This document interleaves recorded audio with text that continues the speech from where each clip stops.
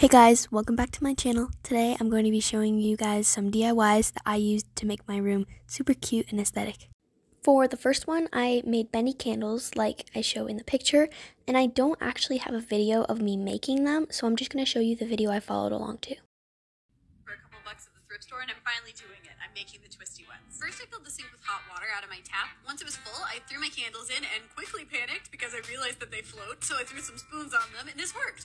Kinda. After 10 minutes, I took my first noodle out. I flattened the middle with a water bottle, put it back in the water to keep it warm while I twisted it a couple of times, and then put it under cold water to lock it into place. The bendy ones were even easier. I just twisted them into curvy shape I wanted, ran them under cold water, and there you have them. This took me a grand total of 15 minutes, and I love my squiggly it wasn't quite that easy. Turns out you need to leave them for about 15 to 20 minutes, and I took them out way too early, so it broke, but I just super glued it back together. It's still super cute next to this other candle, which brings us to our next one, which is painting a candle. This one is also really easy, actually way easier. I just use my Posca pens, which I use for absolutely everything, 10 out of 10 recommend. So cute, did cow print, because it'd be simple. Next one, just paint. Painting is so, it can be so aesthetic and it's really easy and it looks so good on your shelf. If you're going for a more preppy vibe, you can do this.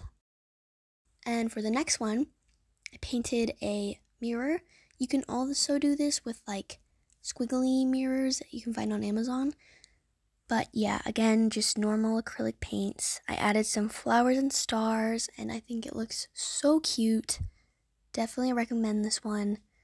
You might have to do a couple layers because it it sometimes gets weird. I don't know. I only did like two or three, but it doesn't look too bad.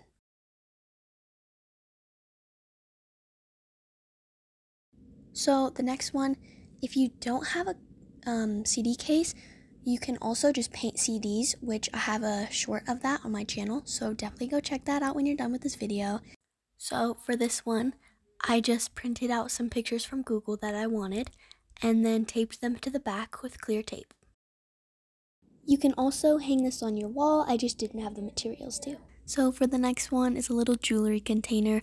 I took a yogurt container and printed out a cute design, put it on with tape, and it looks so good and I really needed it because I just had them, I just had my bracelets all over. The next one, a clay jewelry tray. This one definitely takes a lot more time. I had to find a tutorial for air dry clay. I don't include that here, but you can easily find tutorials on Google. Um, but yeah, and then I painted it with my Posca pens. It looks super good on my dresser and I love it.